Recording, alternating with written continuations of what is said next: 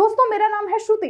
कल का दिन हमारे लिए काला दिन था। अपने नौजवान शहीदों को हमने खोया था। चौदह फरवरी को जब पूरा देश पुलवामा के आतंकी हमले में शहीद जवानों का स्मरण कर उसके बलिदान के प्रति सर झुका रहा था, तब सीआरपीएफ की जन्मस्थली नीमच में पढ़ रहे एक कश्मीरी छात्र ने सोशल मीडिया पर आपत्तिजनक कमेंट पोस्ट किया। छात्र नाबालिग है, पुलिस ने उसे गिरफ़्तार कर एफआईआर दर्ज कर ली। वर्ष 2019 में जम्मू कश्मीर के पुलवामा में आतंकी हमले में सीआरपीएफ के 40 रन बांकुरे शहीद हो गए थे। 14 फरवरी को हर जगह उन शहीदों की गाथा का गाना गाया जा रहा लेकिन कॉलेज के एक कश्मीरी छात्र ने अपने इंस्टाग्राम और अन्य सोशल मीडिया अकाउंट पर शर्मनाक करतूत को अंजाम दिया। छात्र ने सोशल मीडिया पर पुलवामा के शहीदों का वीडियो डाला और कमेंट किया बाबरी का बदला। यही नहीं, और भी बदले लेने की बातें एक वीडियो में कही गई। छात्र ने पाक आर्मी की तारीफ़ की। कश्मीरी छात्र पीएम ट्रिपल एस योजना के अंतर्गत नीमच के सरकारी पीजी कॉलेज में बीकॉम फ़र्स्ट ईयर में पढ़ता है। वो सरकारी हॉस्टल में रहता है। इसके अलावा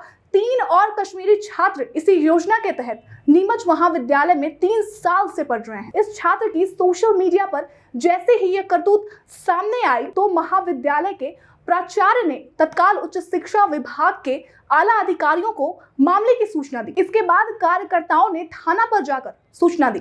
पुलिस ने छात्र को तत्काल गिरफ़्तार कर लिया। 14 फरवरी 2019 का वो दिन। देश की धरती 40 वीर शहीदों के खून से लाल हो गई थी। इस दिन जम्मू कश्मीर हाईवे पर तेज़ी से बढ़ रहे सीआरपीएफ जवानों के काफिले पर आत्मघाती हमला हुआ था। इस हमले की ज़िम्मेदारी आतंकी संगठन जैश ए मोहम्मद ने ली थी। इस आतंकी घटना ने पूरे देश को मायूस कर दिया था। लेकिन भारत ने इसका बदला लेने के लिए ठीक 12 दिन बाद बालाकोट एयर स्ट्राइक करके जैश के आतंकियों को ढेर कर दिया था। पुलवामा हमले में एक गाड़ी में 300 किलो विस्फोटक भर सीआरपीएफ जवानों की बस से टकराकर उड़ा दिया गया था। हम कैसे भूल गए वो दिन? कैसे भूल गए इतने जवानों की शहादत? मैं दावे के साथ कह सकती हूँ कि एक बार भी अगर हम एक जवान का चेहरा भी देख लेते हैं ना, हमारी हिम्मत दोगुनी हो जाती है, हमारी छाती चौड़ी हो जाती है और गर्व से गर्व से बस यही निकलता है। आपको सलाम साहब, आपको सलाम। जय हिंद, जय भारत। नमस्कार। ऐसे ही और वीडियोस देखने के लिए सब्सक्राइब करें